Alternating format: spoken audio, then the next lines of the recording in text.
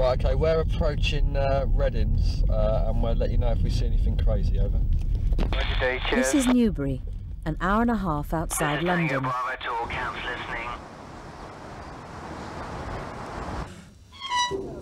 People were saying to.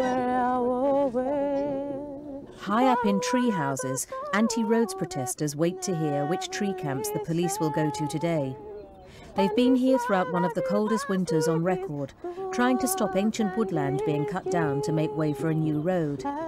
Here at a camp called Reddings Copse stands the tallest tree along the route of the proposed Newbury bypass.